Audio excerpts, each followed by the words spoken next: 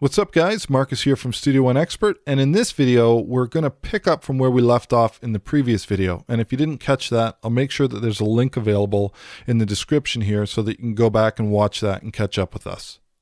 Okay, so in the last video, basically what we did is we extracted a groove from our loop here, and then we quantized the actual audio events of our kick samples and our snare samples using the quantize on track option so that they sit a little better with the actual groove.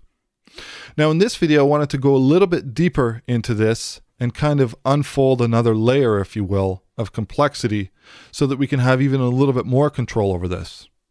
Okay, so as for now, this groove is sitting pretty good and our samples are definitely sitting better with the loop in itself. So let's have a quick listen to everything.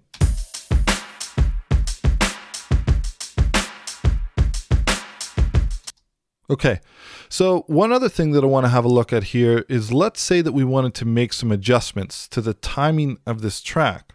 For instance, let's say that we wanted to add a little bit of swing to this. So all we need to do here is we need to make sure that we select this event. Let's go back to grid. Let's go to our swing here. Let's add about 20% swing. And let's go ahead and apply that. I want you to keep your eye on these waveforms over here as soon as I click apply. And the other thing is we need to make sure that we switch back to quantize as opposed to quantize on track, which would just move the audio event as opposed to the contents within it. Okay, so we've got a slight change there. Let's solo this and listen to it. You can hear that right away, that swing. Is the original.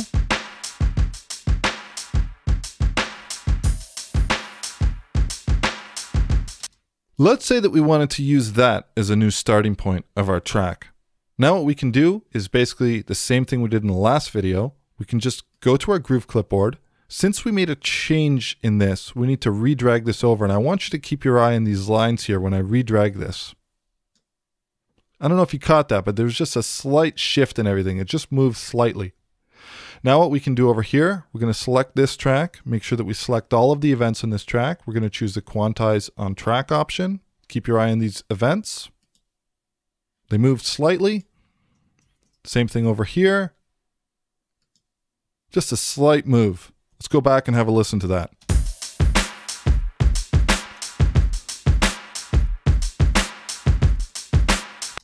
Okay, so now I have an entirely different feel to this loop over here. So now that I've played that, I'm almost hearing something different in my head. Now that we added that little bit of swing, I feel like we could layer in another loop to augment this even further. So let's open up our browser for a second here.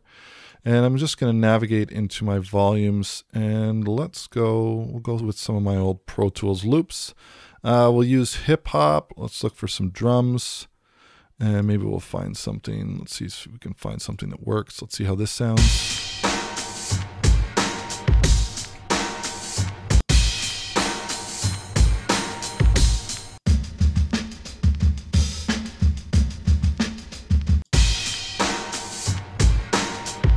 Okay, so I think what we'll do is we'll use this one. I think that could add something cool. So I'm going to drag this in.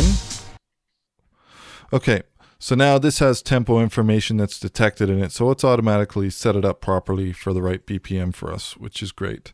Okay, so let's have a listen to see how this is working with what we have here.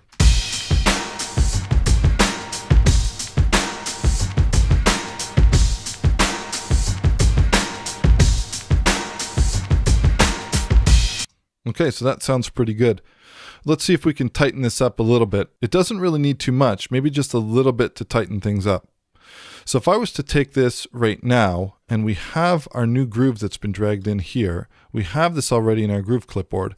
If I clicked on this right now, and I went to my quantize menu, and I just clicked apply, make sure that we're on the quantize option, let's see what happens. Okay, so it's done a lot of time compression and expansion there. Let's have a listen to see how this sounds.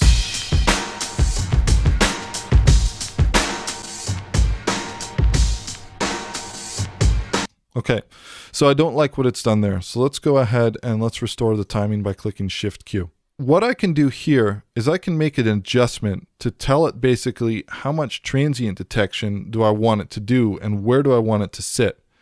So what I'm going to do is I'm just going to go to the bend marker menu over here, the audio bend menu, and then I can just dial back this. So I can pull this back and I don't really need it to detect too much. So let's say even if I went to something like let's say 43, somewhere around there.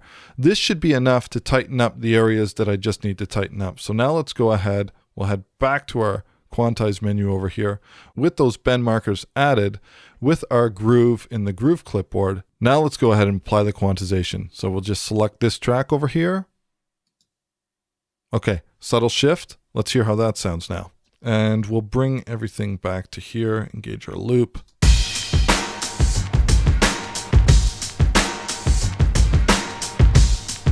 Bring this down a bit.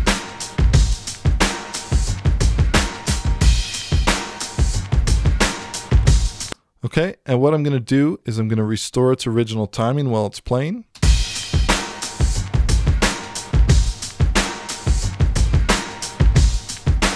Go back.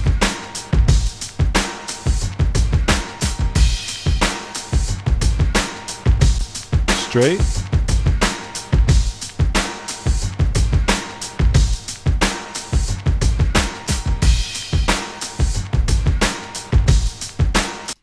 Okay, so let's just do a quick recap of what we've done there.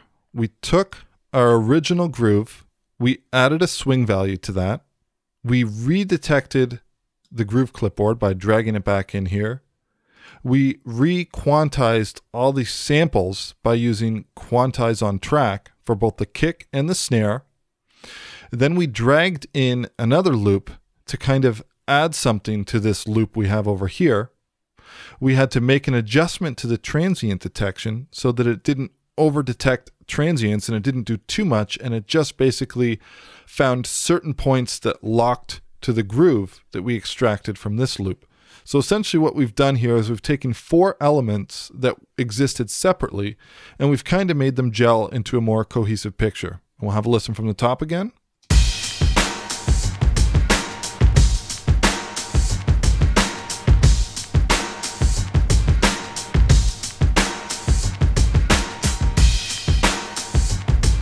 Okay, so that's it for this one, and I hope you guys got something from this, and we'll talk to you later. Cheers.